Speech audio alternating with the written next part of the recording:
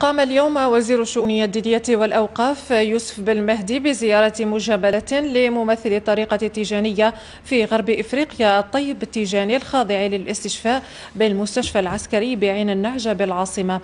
الوزير كان مرفوقا بوفد عن رابطة علماء ودعاة وأئمة الساحل.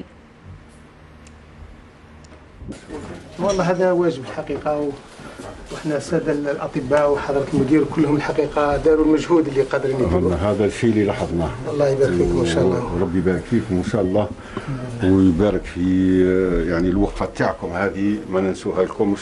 بالعكس هذا واجب. نفكركم في كل وقت. هذا واجب الجوار واجب الأخوة الدينية. إحنا الحمد لله واجب كذلك يعني البعد التيجاني عندنا في المنطقة. كلها الحقيقة عناصر تشكل هذه المحبة وهذه الأواصر تاع الأخوة.